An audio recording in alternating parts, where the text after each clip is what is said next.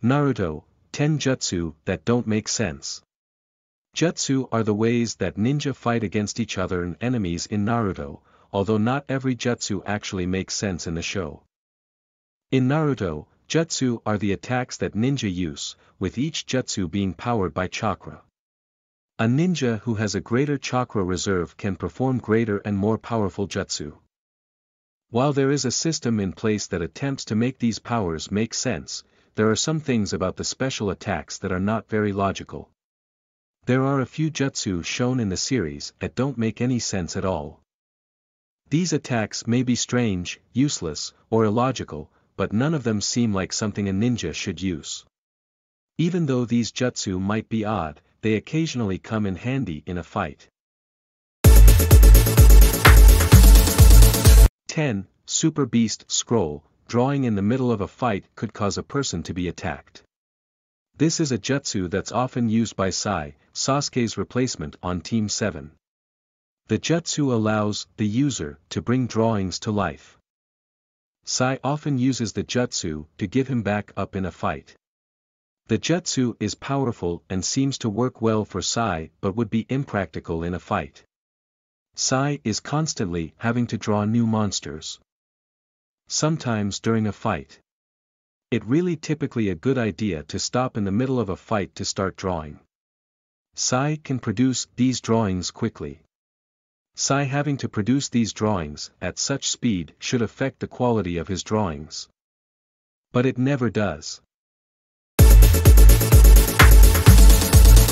9. Rasengan, it makes no sense you can't throw this jutsu. The Rasengan is a powerful jutsu created by the fourth Hokage, Minato and Naruto uses the jutsu often in fights. The powerful jutsu has one downside. It isn't a long-range attack. No one can throw the jutsu, so its user must get up close and personal to use it. Naruto is told that there is no way to throw a Rasengan, but it is never fully explained why that is the case. The comment makes even less sense after Boruto manages to successfully throw the jutsu. 8. Living Corpse Reincarnation, Orochimaru should have been easily able to possess another person. This jutsu is the one that Orochimaru uses to possess the body of another person. The action of possessing other people has allowed Orochimaru to live longer than his natural lifespan. Orochimaru had planned on using the jutsu to take over Sasuke's body, but Sasuke managed to destroy him first.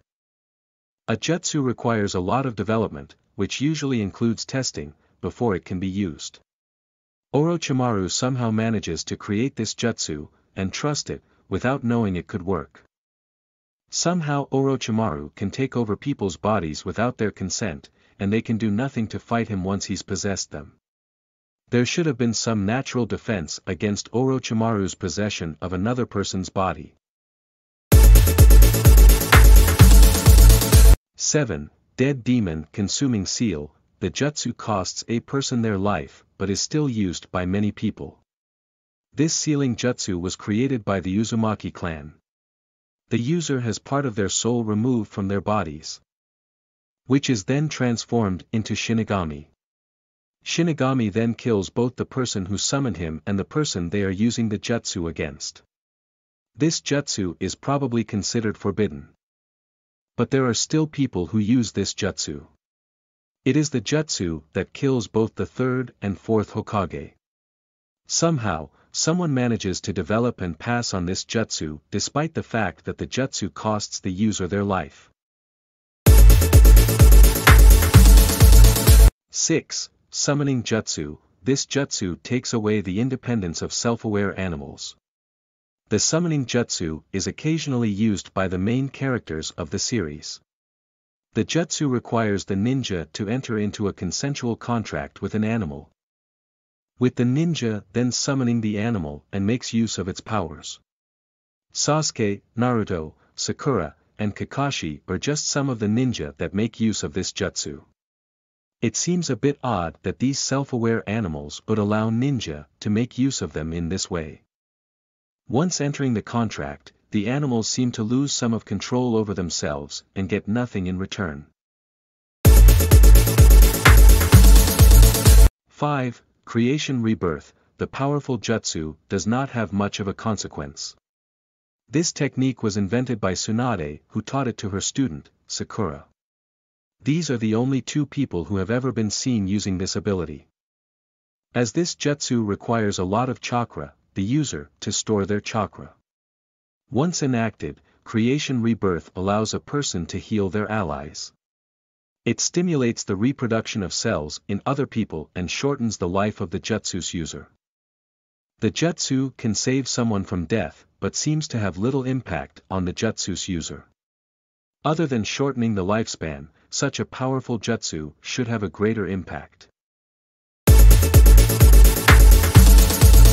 4. Susanoo, a person can create this person-like structure and then completely control it. The Susanoo is a product of the Kekkei Genkai carried by members of the Uchiha clan. The Susanoo forms a giant shield-like projection around the Jutsu's user. The projection is made of chakra. The Susanoo can be formed in part or completely. The Susanoo can only be formed by certain members of the Uchiha clan. People like Sasuke and Itachi. The person-like structure, created by the jutsu, is very odd.